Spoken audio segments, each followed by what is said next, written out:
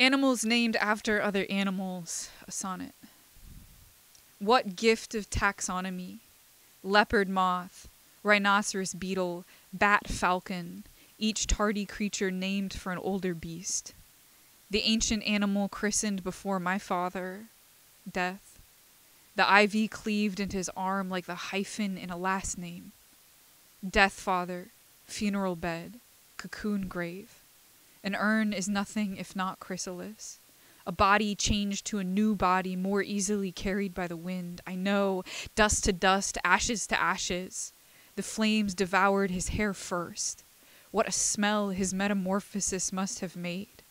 The stench of dying, of an animal reborn.